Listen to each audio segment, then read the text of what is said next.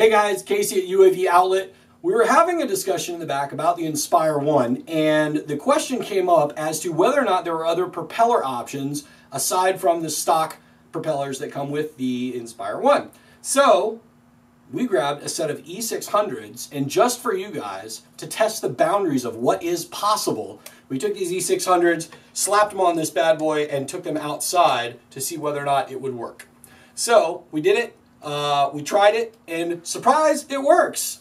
The E600s are about an inch shorter than the ones that come with the Inspire, uh, so you're looking at about 12 and a half inches versus 13 and a half inches. Uh, however, it did work. We didn't really push the limits of what can be done with this copter, brought it up to a hover, cruised around the lot, checked it out, uh, and it did fly, it did hover, it did take off well. It was a very controlled descent for landing. Um, so if in a pinch you do happen to break one of your rotors and you have some E600 sitting around, they can be used.